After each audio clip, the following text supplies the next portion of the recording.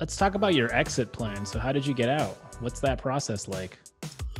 One of my other huge chunks of luck was that about a year and a half after I left the movement, the only friend I had was a kid who had like kind of just dipped his toes in the movement for maybe six months, and then he's like, "Fuck this, I'm done with this." It, it was funny. I interviewed him uh, for writing my first book, and I needed a lot of like corroboration because I was always so drunk back then. I, I interviewed about ten people who had been in and out with me, and I asked him like why he got out, and he's like, "Dude." It's really difficult to get laid being a neo-Nazi. you don't go like walking up to a bunch of hot girls and be like, "Yeah, so uh, oh, that's the white race." you know, like he's like, I, I, I, wanted to get laid again. Like he, he was a big ladies man, and he's like, I, it just wasn't happening in the movement. There was a sausage party. There's no girls, and, and for good reason. And I'm like, okay, yeah, well that makes sense. But he was my only friend, and he was a raver. Like every Saturday night, he's going to a rave party on the south side of Chicago or up in the sticks in Wisconsin in a cornfield somewhere. And I would hang out with him during the week. And we'd sit around the house drinking, and he'd like kind of. Re- I love the Beastie Boys before I got in the movement. And when I got out, like, I'll never forget one day, me and him are like just stoned out of our mind, laying on the floor of his bedroom listening to Check Your Head by the Beastie Boys. And I'm just like, if this is wrong, I don't want to be right. this is there's a bunch of Jews playing black people music, and it's the best thing ever. And, and it was really like hanging out with him that kind of like reconnected me to the beauty of humanity and culture and not being afraid of these things. And the, the kind of the the final step of it was he was telling me about these rave parties, and I was like terrified to go because I'm like, I'm not going to the south side of Chicago. You're insane. You're out of your mind. And I, I don't want to dance. Like, I don't know how to dance. I just, I dance on people's heads. That's the only kind of dancing I know how to do. How am I supposed to know how to dance? And he's like, dude, you just go and you just start moving.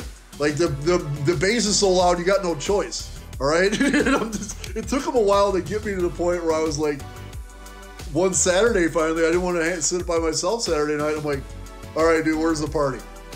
And he's like, well, there's one on the south side of Chicago. You want to drive down there? I'm like, let's go. And that was my first rave party I went to. And, and I literally, it was such the polar opposite of everything that I had been.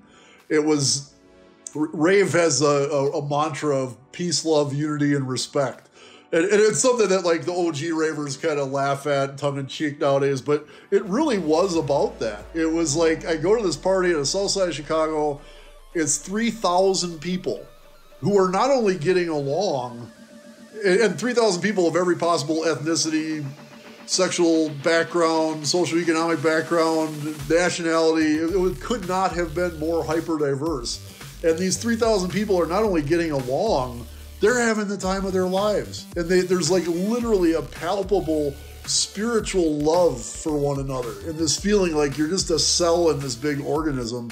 And I did MDMA for the first time that night.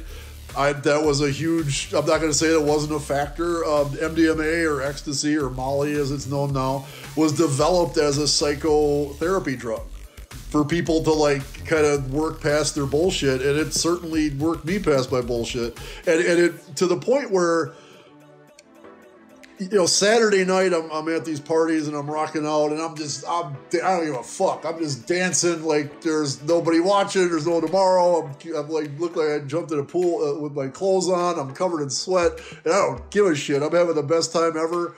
And then on wednesday like the drugs are long out of my system but I'll be walking down the street on Wednesday afternoon and I'll see some dude on the sidewalk. And five years earlier, I would have just as soon jumped on this guy and, and beat the living fuck out of him for, for absolutely zero reason. And now I'd see him walking down the sidewalk and I'd be like, that guy's my brother. I, I hope he's having an awesome day.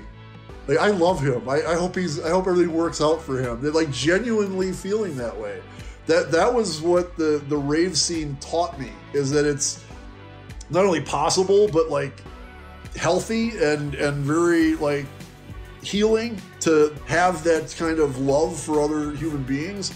And the other thing it taught me was the the power of forgiveness.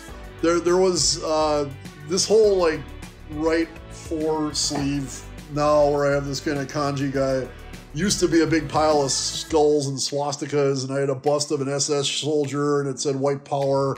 Like again, no mistaking what this is about. I remember sitting at, on the floor of some filthy, dilapidated warehouse at four in the morning on Sunday, and some girl has my forearm in her lap, and she's like kind of stroking the swastika tattoo and looking at me like, and she's like, "What's that about?" And I'm like, "Well, I, I used to be a Nazi skinhead. I feel really bad about it." She's like, "You're not anymore, are you?" And I'm like, "No." And she's like, "Okay." like that's how everybody was back then. I had gay friends, I had black friends, I had gay black friends. Like in every single one of them, even though they knew who I used to be, were like, it don't matter who you used to be, dude. Like you're here with us now. Like rock out, have fun. Drink some water. You look like you need you gotta be hydrated. like it was it was just they they demonstrated for me how powerful forgiveness was, how powerful compassion was, and it, it really like kind of began the, the healing process that I'm still going through and I'll be going through the rest of my life. But if it wasn't for those, for that step, and, and, and I'm still friends with a ton of people from those days nowadays. And when I see them, when I talk to them, I, I always let them know, I'm like, dude, you helped me get from there to here. And, and I'll always be grateful for that. Hey everyone, thanks for checking out that clip. You enjoyed it, be sure to hit the like button down below. And if you're interested in hearing the full episode, it's out right now on our YouTube channel. We've had a lot of great guests come on this show before, and we've got a lot of great guests coming up in the future. So hit subscribe so that you don't miss a single episode. And one final note, we're always looking for new ideas and new companies to feature on the show. So if you know of someone or know of a company, write us a comment down below letting us know who they are and what they do. We'd be happy to have them on the show. Till then, I'll just be here waiting for your comments. So, uh, see you later.